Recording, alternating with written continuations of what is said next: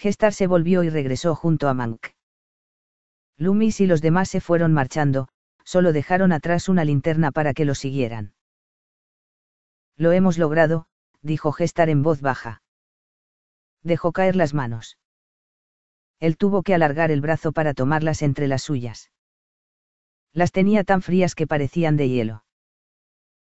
Sí, lo hemos logrado, susurró a su vez. Gracias. Se volvió para apartarse, pero él la retuvo.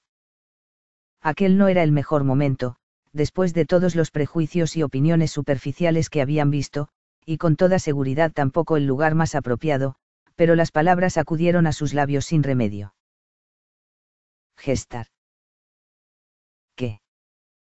contestó, temblando de frío, y también por la conmoción. Mang deseaba estrecharla entre sus brazos, pero sabía que ella rehusaría. Gestar, ¿quieres casarte conmigo? Ella guardó silencio durante tanto rato que él pensó que no iba a responderle nunca, e incluso que no lo había oído. Estaba a punto de repetirlo cuando por fin habló. ¿Por qué? Preguntó al fin, mirándolo de hito en hito, aunque apenas podía verle el rostro a la luz de la única linterna que descansaba sobre una tumba próxima. Porque te quiero, por supuesto. Respondió Mangut bruscamente, sintiéndose vulnerable y de súbito aterrado ante un posible rechazo. En su mente vio un pozo de soledad más negro que la profunda fosa abierta.